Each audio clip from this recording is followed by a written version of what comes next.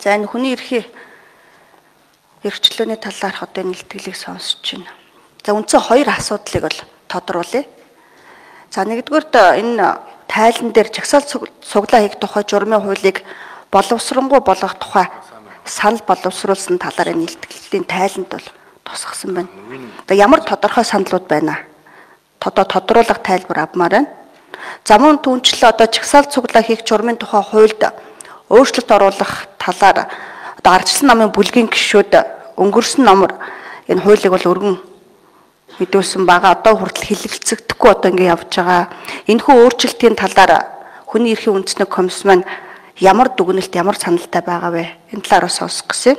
За чагсаалт цуглаан хийх журмын тухай хуулийг сайжруулах 10 нэгэн төрлийн одоо үндсэн чиглэлүүдийг бид нар танилцуулсан байгаа. Тэгэхээр ерөөсөө чагсаалт цуглаан хийх журмын тухай хуульд тайван хурамчлуулах эрх чөлөөний мөн чанар агуулгыг бас бүрэн тусах шаардлагатай байгаа.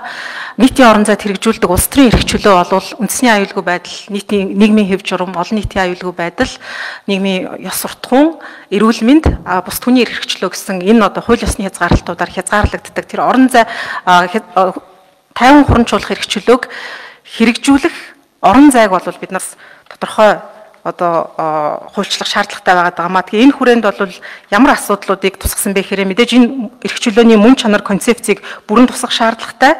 50 хурамжуулах эрх чөлөөний хууль хууль гэдэг одоо үзэл баримтлалын үүднээс боловсруулахдаа 50 жагсаал цуглааны бүх үе шатыг хамгаалах. Өөрөөр хэлбэл зөвхөн талбай дээр жагсаал цуглаан гэдэг бол зөвхөн одоо өрнөж байгаа процесс биш. Энд бэлтгэх олон хүн үзэл бодлоо илэрхийлэх ийм арга хэмжээ учраас бэлтгэх үе шат. Тэрний дараах одоо аюулгууд харах дараа нь үзэл бодлоо илэрхийлсэнтэй холбоотой хүнийг мөрдөж мөшөхгүй гэсэн айц төгшүүрээс ангид байхтай холбоотой энэ бүх шатны асуудал байгаад байгаа. За чагсаал цуглаан хийх журмын тухай хуульд хуулиар хоригдсан чагсаал цуглааныг чагсаасан байгаа. Энэ агуулга нь бол өргөн хүрээтэй олон улсын гэрээнд нийцэхгүй байгаа. Чагсаал цуглаан хийх хууль ёсны олон төрлийн арга хэлбэрүүд шинээр бий болж байгаа. Аяндаа үүссэн цуглаан гэдэг бүртгэл тодорхой зохион байгуулагчгүй гинт үүсдэг энэ одоо асуудлууд гэдэг. Энэ бүх хэлбэрүүд ямар ямар мөн чанартай юм бэ гэдгийг тодорхойлоод бүгдийг нь хууль тусгаж хамгаалах ёстой гэсэн асуудал байгаа.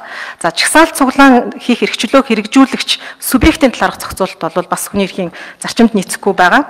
50 чагсаал цуглаан хийх хоригдсан газруудыг хянж үзэхтэй холбоотой асуудал. За хязгаарлах үндэслэл журмыг түрүүнд хэлсэн.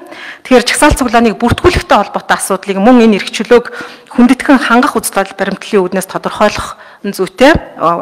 Чагсаал цуглааныг мэдэгддэг бүртгэдэг зохицуулалт бол байх нь хүний эрхийг зөрчсөн асуудал биш. Энэ бол чагсаал цуглааныг явуулах тэр одоо төрийн захиргаа хууль сахиулах байгууллагын дэмжлэгийг бий болгох зохион байгуулалтыг их зорилгоор бол байх боломжтой. Ганцхан энийг оновчтой эрх чөлөөг хүндэтгэх хангах үзэл баримтлалын үүднээс хуульчлах шаардлагатай гэж үтсэн байгаа. 50 жагсаал цуглааны үеэр олон нийтийн мэдээлэлээр хангах, хууль зүйн тусалцаа үзүүлэх а одоо хүний эрхийн хяналт авах гээд мэрэгжлийн үйл ажиллагаа явуулах тэр эрх зүйн зохицуултууд байх ёстой. Дараа нь 50 жагсаал цуглааны үеийн хууль сахиулах ажиллагааг журамлах шаардлагатай байгаа.